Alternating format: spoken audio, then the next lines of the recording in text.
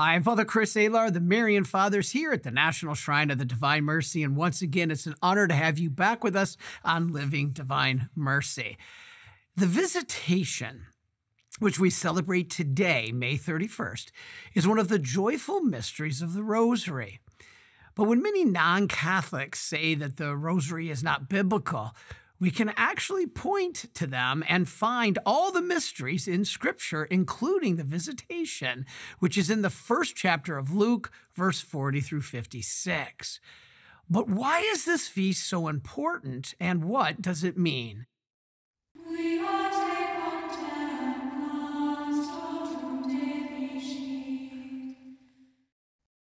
Since the Hail Mary is a prayer to Mary, many Protestants assume that it's unbiblical. Not true. In fact, most of the prayer comes from the biblical account of the visitation of Mary to Elizabeth before both of them were to bear important children. John the Baptist, and of course, Jesus himself.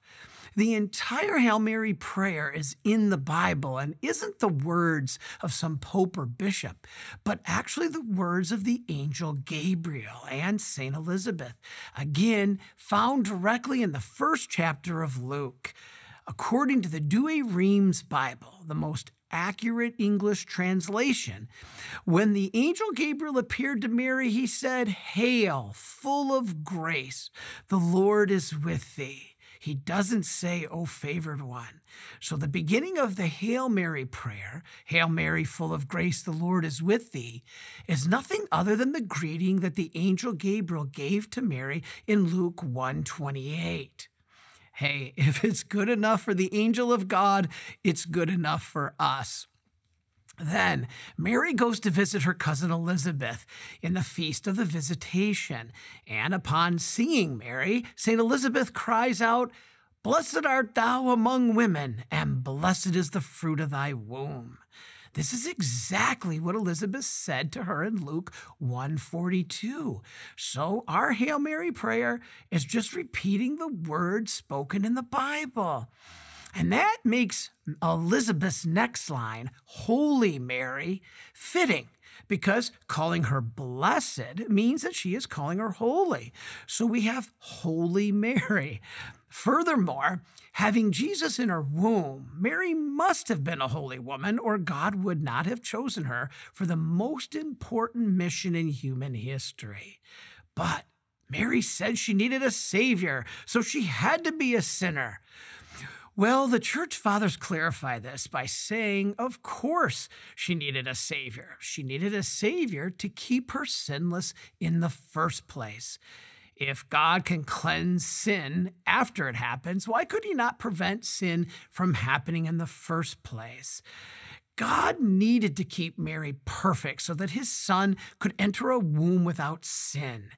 God cannot coexist with sin. So Mary had to be without sin because her very DNA runs through the very veins of Christ. And since God can't coexist with sin, as we said, it makes sense that the God man Jesus Christ would have come through a woman who was holy and his mother. Thus, we have Holy Mary, Mother of God.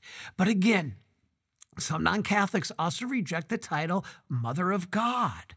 But here again, Elizabeth called Mary the Mother of God. She does this by saying, How is it that the mother of my Lord should come to me? Here, Elizabeth is referring to the child as her Lord and God, and Mary as the mother of her Lord and God saying Mother of God doesn't mean Mary is older than God or that she created God. No, only God creates. The definition of a mother is not to create a person, but rather to give birth to a person.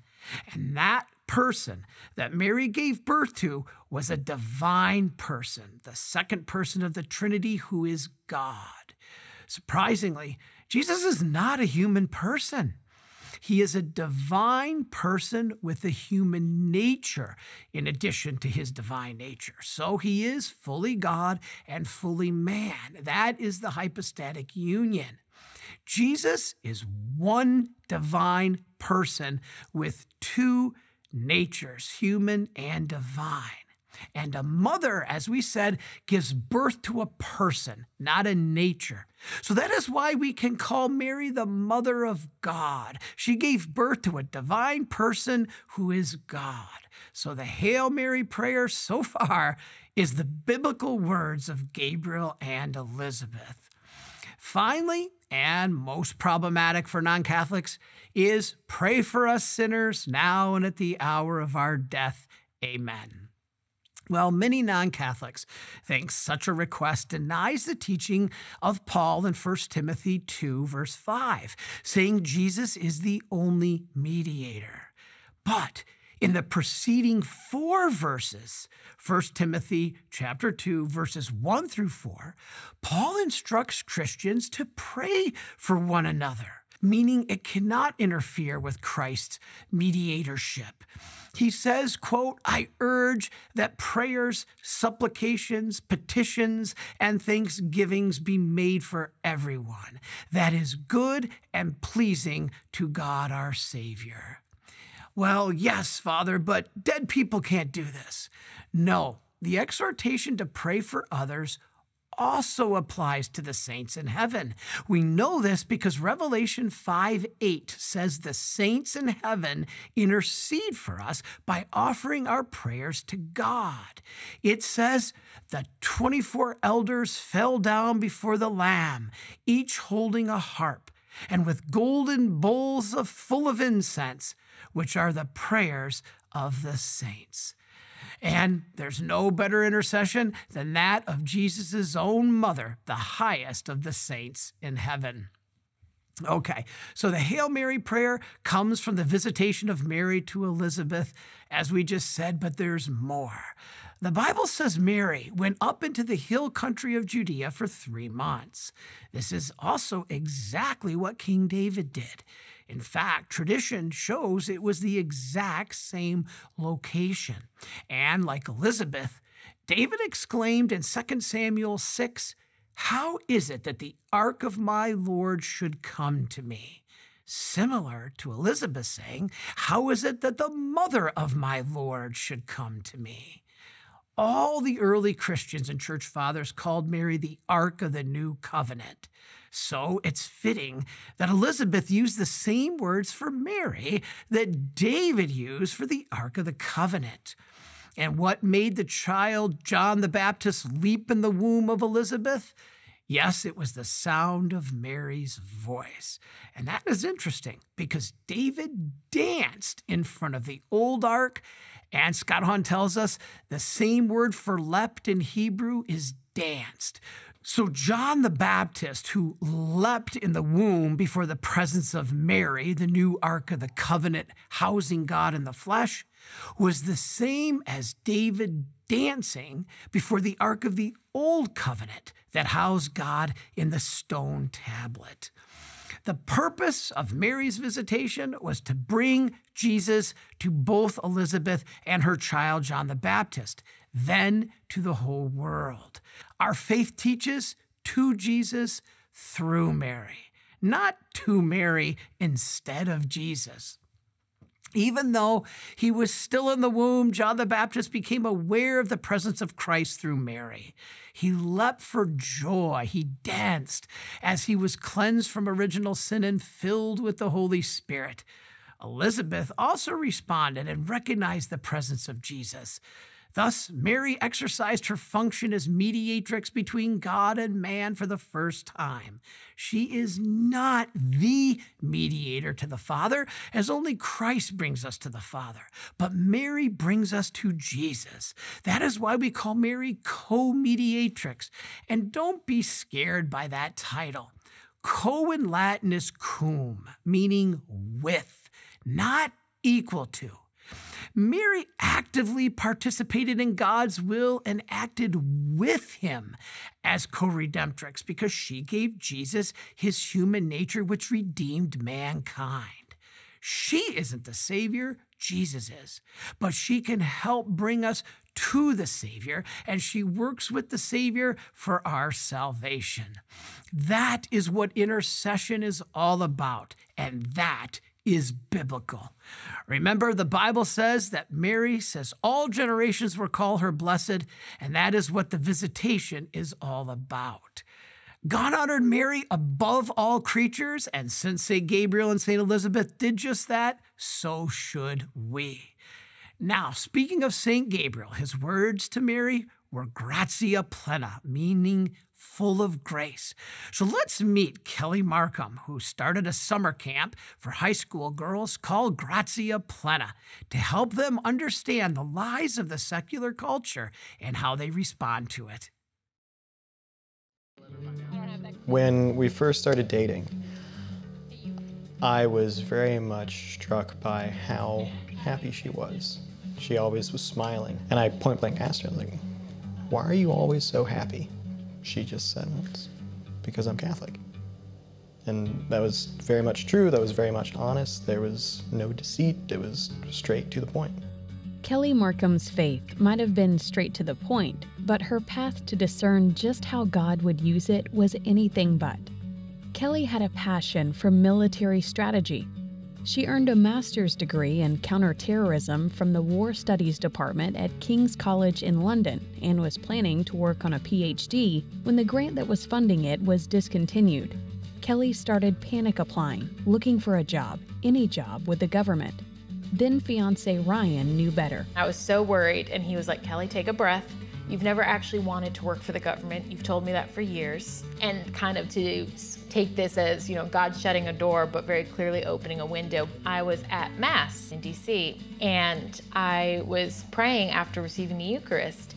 And out of nowhere, really, there's just very clear directives. Start something for girls. I think I have to start a camp for girls dedicated to Mary. That this was the path that God had chosen was no surprise, given Kelly's upbringing and her undergrad years at Georgetown. I was 10 years old when I saw the ads for the partial birth abortion ban that was working its way up in the legislature. And so I asked my mom to explain it. But so from that point on, I was very much ignited by this. And so I was involved in Right to Life throughout high school and college. I had seen what toxic feminism had done to women in the culture. And I'd seen what it had done to so many of my peers, beautiful, smart, intelligent women.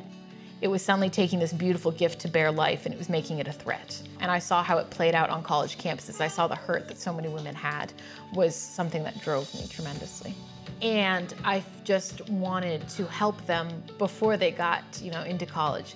So we sort of, because of that, um, narrowed in on high school girls, that that was my, my target demographic. So we're trying to kind of cut through all of that noise and cut through all of those lies that these young women are being told or sold, because ultimately we want them to have happiness, you know? And so uh, that, that's really, I would say, where the heart of the mission is. It's like before they set the world on fire, um, helping them come to terms and with the truth of who they are. The camp is four nights, five days.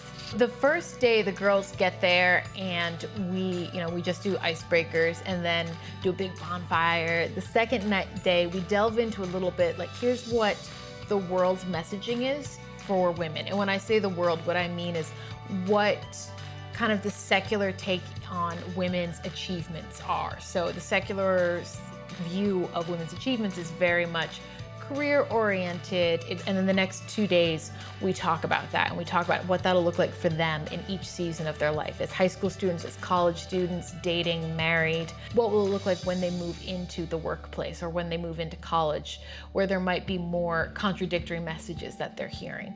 So we try to arm them with the knowledge and the vocabulary they have to combat that um, and so that they can engage with the world, but not lose sight of who they are and what their convictions are. And I think the Catholic Church has struggled um, for a long time in how to voice and communicate this message to them. And I think that miscommunication is what leads a lot of young girls to leave the faith. Faithful women like Kelly were searching for more clarity and they got it when St. John Paul II forcefully defined the role of women in a changing society. From the grotto at Lourdes, he proclaimed women's role as sentinels of the invisible, witnesses to values that, quote, can only be seen with the eyes of the heart. It's the dignity of mankind, the image of God that is imprinted on every human. It is women's job to safeguard that, to be sentinels. And it's just a beautiful vocation for us. He really talked about women's role in the church, in culture, and how we were meant to be guardians of the culture, right? We were meant to be the protectors of others. And he really he really gave women a mission, right? Role models for how a Catholic woman should live are explored at the camp. There's Saint Zélie, the mother of Saint Thérèse de Lisieux, and Saint Anne Doctor Gianna, both of whom were successful professionals who raised families. And Saint Edith Stein, who wrote that the world needs not only what women have, but what women are. But rising above them all is the namesake of Kelly's organization. It's called the Gratia Plena Institute, Latin for full of grace. It's in recognition of the role played by Mary, whose obedience to God brought Jesus into the world, but also whose insistence convinced a reluctant Savior to perform his first miracle at Cana. Yet, at her directive, he begins his entire mission, which transformed the world. And I love that we have all these different images of Mary. So you have the, the more quiet, gentle mother, but you also have the fighter.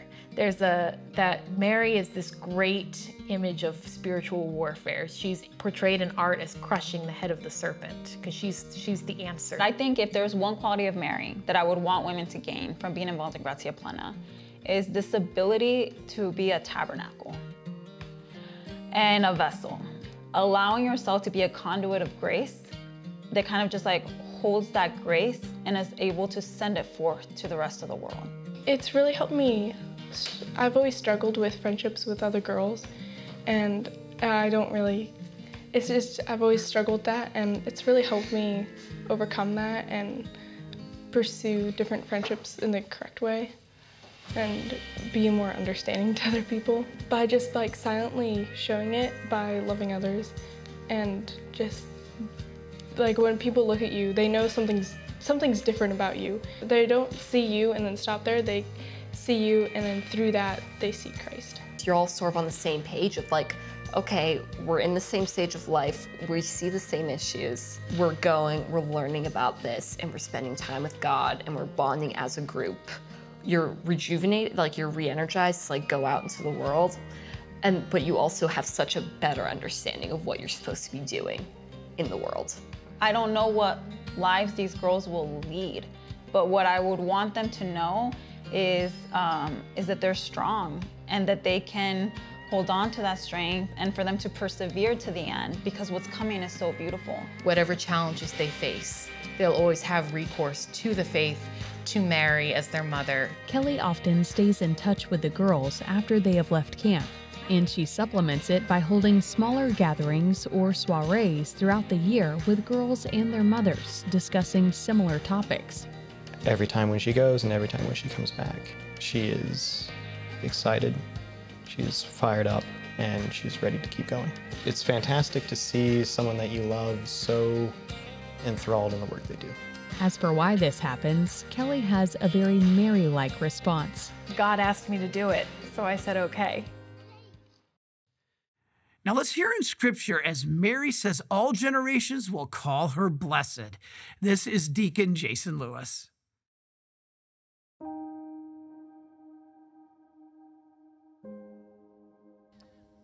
And Mary said, My soul magnifies the Lord and my spirit rejoices in God my Saviour, for he has regarded the low estate of his handmaiden. For behold, henceforth all generations will call me blessed. For he who is mighty has done great things for me, and holy is his name. And his mercy is on those who fear him from generation to generation. He has shown strength with his arm he has scattered the proud in the imagination of their hearts. He has put down the mighty from their thrones and exalted those of low degree. He has filled the hungry with good things, and the rich he has sent empty away. He has helped his servant Israel in remembrance of his mercy, as he spoke to our fathers to Abraham and to his posterity forever. Mary's prayerful heart is revealed in her canticle of praise, the Magnificat, in verses 46 through 49. She praises God for all that He has done for her and gives all glory to Him for raising up His lowly handmaid to be the vessel of salvation for the world. Then in verse 50 through 55, she praises Him for His mercy, in the Hebrew that is Hesed, in keeping His promises to Israel, especially to the faithful poor of Israel to send them their Messiah and Savior. It is the humble and meek who are said to be the chief objects and instruments of God's mercy. Those who are rich and powerful in the eyes of the world, and those who are filled with pride at the thought of their own virtues and merits, will not be open to what the Lord is doing through the poor and humble disciples. The rich will be sent empty away while those of low degree will be exalted. Therefore, if we want to be open to the divine graces offered only to the humble and meek, we need to strip away from ourselves all self exaltation and draw near instead to the heart of God's lowly handmaid. Now let's meet Marian, brother John Luth, as he tells us about his vocation story and how he's able to bring his talents to the Marians of the Immaculate Conception.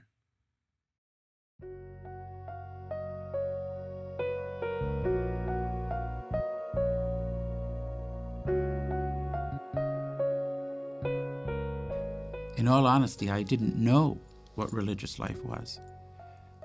I had uh, been having difficulty uh, finding a seminary that would accept someone with um, my maturity. Uh, I had just received a very painful letter, another rejection, and on the same day, I received an invitation to attend the first ever Divine Mercy for Nurses conference. In those days, it was Divine Mercy for Nurses. And I had been attending a cenacle every Monday night, and I had learned about the, uh, the, the, Divine Mercy Chaplet, we closed the cenacle every night, every week with that. And I soon found it immensely uh, beautiful. And I loved it. And I said, well, I love the chaplet. I'll probably love this. I didn't even know that there was a connection, only that it had the Divine Mercy title in it. And I said, Well, I like the chaplet. I'll probably enjoy this conference. So I attended. Uh, two things, or more than that, but the two things that struck me most uh, beautifully were the fact that the speakers were so deeply engaged in what they were saying. And the second was the dynamo, the dynamism of two of its main speakers, Father Seraphim and Father uh, Kazimierz um, who did kind of like a team teaching. They leapt to the podium in the midst, in the middle of whatever the other one was saying. And it was so beautifully coordinated, though it was spontaneous and uh, uh, on the spur of the moment. And again, it added to the beauty, it added to the sincerity, it added to the excitement. But again, that awe inspiring thrill of hearing truth. And all of that day, uh, I was just overpowered by all of that. And I couldn't get my mind off it for another week. For the whole rest of the week, I went through the next week. And in those days, they gave us great big packets of freebies. And I said, Oh, I wonder if they have priests. So I pulled out what happened to be the Marian Helper magazine, and there on the very last page in big print was Meet Our Vocation Director, and it was Father Don Calloway. And uh, so I wrote to him, and the rest is history, really.